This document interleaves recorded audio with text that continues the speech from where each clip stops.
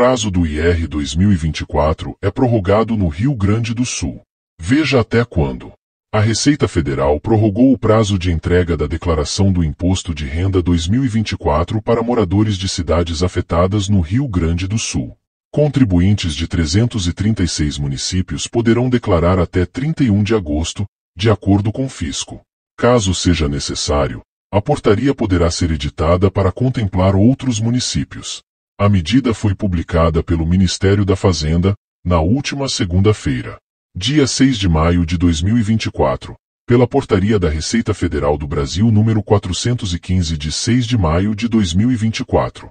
Até o momento, de acordo com a Receita Federal, ainda não há previsão de que os atingidos tenham prioridade na restituição.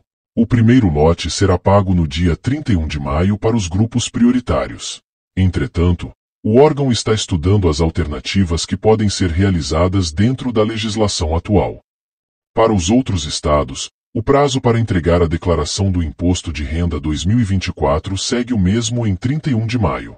Caso não seja entregue no período estipulado, o contribuinte pagará uma multa de 1% ao mês sobre o imposto devido com acréscimos de juros proporcionais à taxa Selic.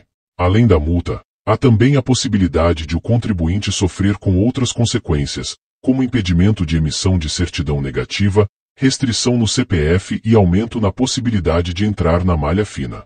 A declaração pode ser feita no site da Receita Federal ou no aplicativo Meu Imposto de Renda, disponível para iOS e Android. Já no computador, quem tem conta GovBR, níveis ouro e prata, poderá baixar o programa da Receita. A Receita Federal espera receber 43 milhões de declarações.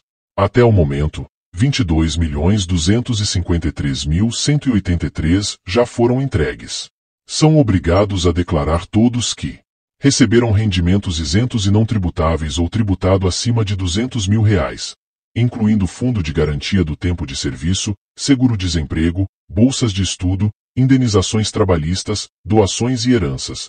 Realizaram operações na Bolsa de Valores e vendeu acima de 40 mil reais ou teve ganho de capital acima do limite de isenção. Possuem bens, como veículos e imóveis, ou direitos acima de 800 mil reais em 31 de dezembro de 2023 tiveram receita de atividade rural acima de R$ 153.199,50. Optaram pela isenção do imposto de renda pessoa física, incidente sobre o ganho de capital, quando há venda de um bem pelo valor superior ao que comprou.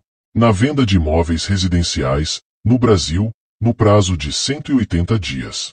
Cidadão estrangeiro que se mudou para o Brasil ano passado e residiu até 31 de dezembro optaram por detalhar bens, obrigações e direitos da entidade controlada, diretamente ou indiretamente, como se fossem pessoa física. Possuem estrutura de planejamento patrimonial e sucessório no exterior. Que sejam pessoas físicas com bens no exterior. Enfim. Se restaram algumas dúvidas sobre o assunto, deixe nos comentários, dê um like, não é inscrito. E também não é inscrita no canal, já aproveita a oportunidade e se inscreva agora e ative o sininho das notificações para receber nossos vídeos. Até mais!